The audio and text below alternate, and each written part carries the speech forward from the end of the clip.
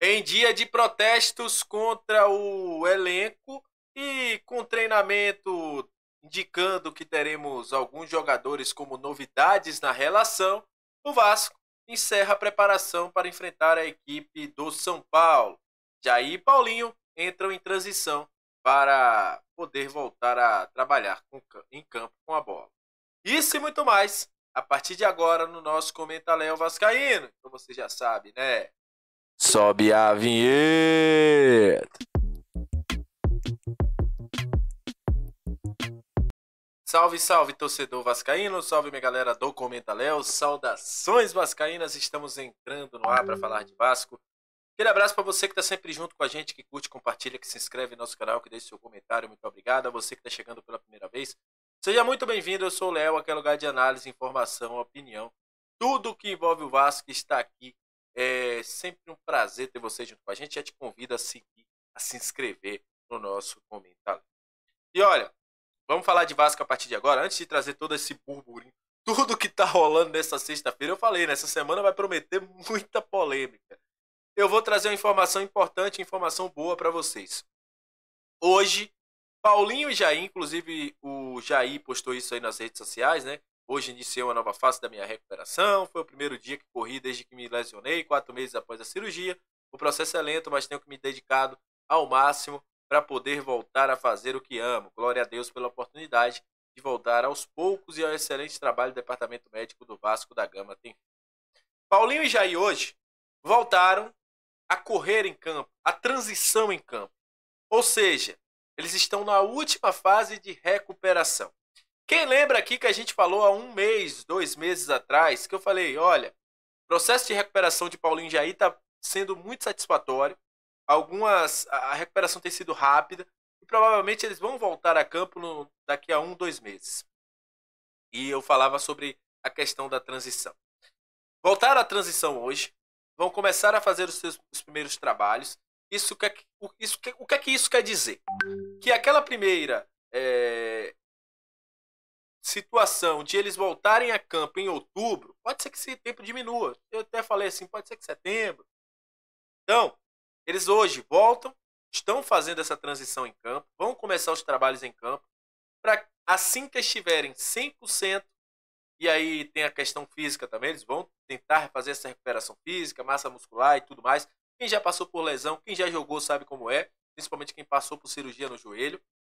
E aí eles poderão voltar ao time do Vasco. Então, notícia importante: dois jogadores importantíssimos para o Vasco voltam aí ao Gigante da Colina após uma lesão.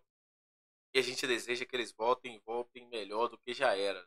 Esse time do Vasco precisa e precisa muito de Jair e de Paulo.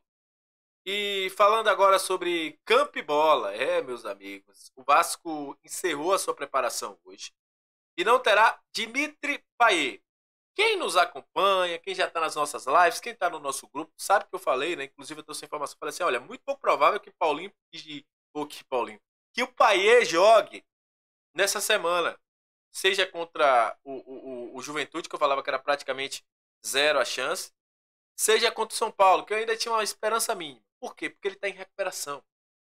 Ele teve uma lesão grau. E vamos lembrar que Paier não é mais menino. Paier já passou dos 35 anos. Então, é, continua na transição, já está treinando, mas não vai para o jogo contra a equipe do São Paulo neste sábado. Em contrapartida, teremos duas novidades, né? O Eric Marcos é, e o Leandrinho estão relacionados. O Eric Marcos, inclusive, volta a se relacionar após muito tempo. E o Leandrinho, porque o Vitor Luiz teve o seu cartão vermelho, está fora da partida. Então são duas novidades que a gente deve ter entre os relacionados. O restante dos relacionados, a gente sabe que Zé Gabriel está fora, Vitor Luiz está fora, Galdame está fora e o próprio Paier também está fora do jogo. Qual a escalação? Ainda não sabemos, mas tem uma probabilidade aí de termos uma possibilidade de volta de João Vitor à zaga. Podemos ter aí é, Hugo Moura e Cocão, ou Hugo Moura e o próprio Esforza. Vamos ver como é que esse time do Vasco vai estar postado em campo contra a equipe do São Paulo pelo Rafael Paiva, que comandou o treino hoje e está tentando passar confiança para a equipe. E aí vem aquilo que a gente já esperava durante todo o dia, que é o seguinte: o toda o CT Moacir Barbosa teve hoje uma segurança muito é, trabalhada ali a polícia para proteger tanto o CT do Fluminense quanto o CT do Vasco. Mas aí os torcedores foram até o hotel onde o Vasco está é, o, agora, nesse momento, concentrado para a partida. E aí o que, é que acontece? Muitas cobranças. O Pedrinho conversou com os torcedores. É, inclusive, vamos botar na tela para você ver aí. O Pedrinho conversou com os torcedores, falou que não tem como mudar tudo, que tem coisa que já está enraizada no Vasco, que não vai estar tá ali para mentir para ninguém. Ouviu também pedido de afastamento de 10 jogadores, né?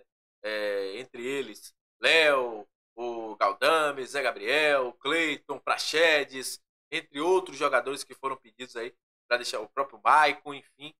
E é, os jogadores também foram cobrados nessa chegada ao hotel. O Léo foi o, o mais hostilizado pelos torcedores, teve aí xingamentos e tudo mais. E as torcidas organizadas estão aí por meio de nota nas redes sociais organizando um protesto para que tenha público zero em São Januário neste sábado. E ninguém entre em São Januário.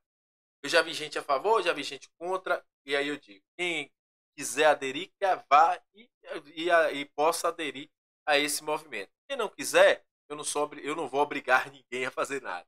Mas enfim, é um movimento das organizadas do Vasco e a gente espera aí que surta efeito que esse elenco do Vasco, essas cobranças que são cobranças pacíficas, ninguém agrediu ninguém, teve nada que passasse dos limites, seja aí é, motivo para que esse time mude a postura dentro de campo. Eu, é o que eu falo todos os dias aqui. A postura do time do Vasco é bizarra. É postura de time que, me perdoe, mas time que está querendo perder. Enfim, os gols que, o gol que a gente tomou ontem contra o Juventude, na, na quarta-feira na quarta contra o Juventude, para mim, é bizarro.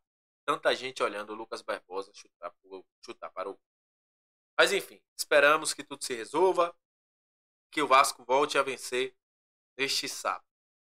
Sobre Sobre técnico, o nome de Ramon Dias é um nome muito forte nos bastidores. Outros nomes foram oferecidos, é, nomes inclusive medalhões, como Filipão, como Mano Menezes, mas que se fala é que nos bastidores o nome de Ramon Dias e Emiliano Dias são nomes fortes para assumir o Vasco na sequência do campeonato. Então é isso, tamo junto, até a próxima, saudações vascaínas, muito obrigado pela sua audiência e valeu!